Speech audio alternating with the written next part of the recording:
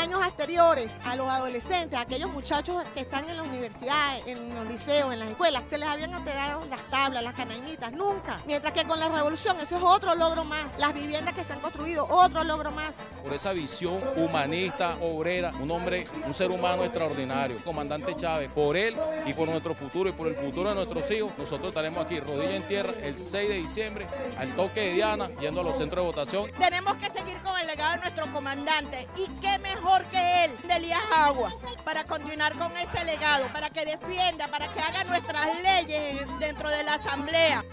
Para la Asamblea como sea. Por Venezuela. Para la Asamblea como sea.